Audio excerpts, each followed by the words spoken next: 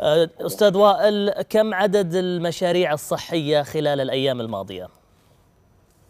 أهلا وسهلا. أخوي عبد العزيز أعتذر عن الخطا المسبوق على قناة الإخبارية.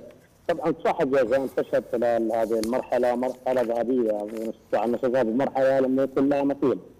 خصوصا وأن هناك كم هائل من المشاريع الإنشائية والتطويرية التي حظيت بها مختلف الإدارات والمراكز الصحية والمستشفيات.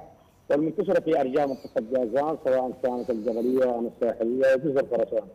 والتي تاتي تأكيدا لحرص القياده الرشيدة مختلف خادم الحرمين الشريفين وسمو ولي العهد الأمين وكذلك سمو امير منطقة جازان وسمو نائبه اللذان يحرصان الذين يحرصان دائما على الارتقاء بمنظومه الخدمات الصحية منطقه جازان.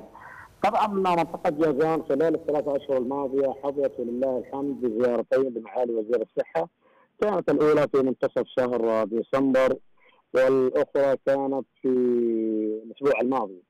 آه تم من خلالها افتتاح أكثر من 38 مشروع صحي انشائي وتطويري شملت عدد من المستشفيات والمراكز الصحية والاقسام العلاجية وسكن العاملين وغيرها من المشاريع الأخرى التي تعزز من مستوى الارتقاء بمنظومة الخدمات الصحية التي تقدم المرضى في منطقة جازان.